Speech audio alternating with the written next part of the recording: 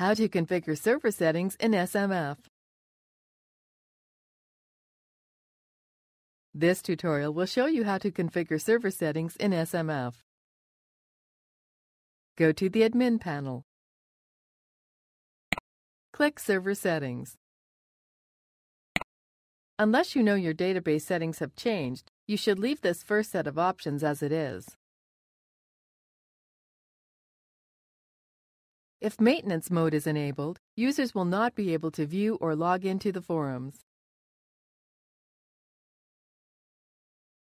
If you need to change the title of your forum or the webmaster's email, you can do so here.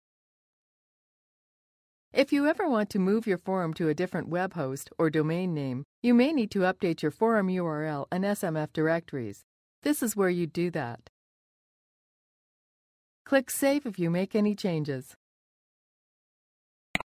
Go to Feature Configuration. The first group of settings control how SMF sends mail. The defaults should work fine for most purposes. To change the default amount of time that someone will stay logged in, use this field. Turning on Use Subdomain Independent Cookies will let your users remain logged into your forum no matter which subdomain they use to access it. The rest of these settings are fine left alone. Go to Caching.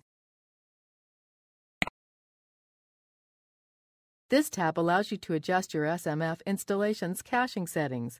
Caching can help if you find that pages are loading slowly. This concludes the demonstration. You now know how to configure server settings in SMF.